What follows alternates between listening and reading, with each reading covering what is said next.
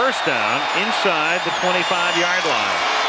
Mirer with a very deep drop, flips it to Bettis. Bettis gets it down to the 19-yard line. That's a gain of five. He is stopped there by Tony McCoy. Now he's dropping into a roll. Now look at the lineman slide out. Big number 74 moving out there. Jurkovic and Justin Hall is out there. They're down by five. It's third and a short three at the 17-yard line. And this is Bettis and this is very close to a first down. I would suspect close enough for a measurement as we widen out. He gets the ball just inside the 15, and they will measure this. And it is a first down. They are really inexperienced now to Notre Dame's offensive right. That's where they go. First and goal, and Bettis scores the touchdown. There's no mercy in this game either, Dan. No, there's not. Kevin Carter, a freshman defensive end, had to come into the ball game, and Notre Dame goes right at him. Florida could have been battling for number one here.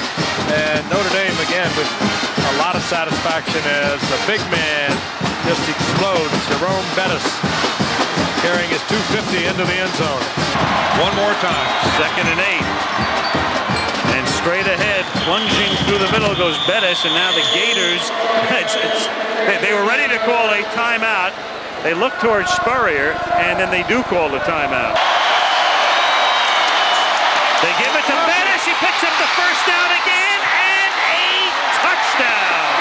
Unbelievable. You put them all up there, you get the seam, and you're gone. We've seen it twice in minutes. I'll tell you right now, those five offensive linemen, in my mind, are the MVPs of this football game for Notre Dame. Well, Bettis might get a vote. If there's any justice, he's not even getting touched. If there's any justice in this world, those five guys and throw in the tight ends are going to win something. They have certainly dominated the second half. They're big oh. and they're strong and watch over the right side. The big surge and a great block coming out of the backfield.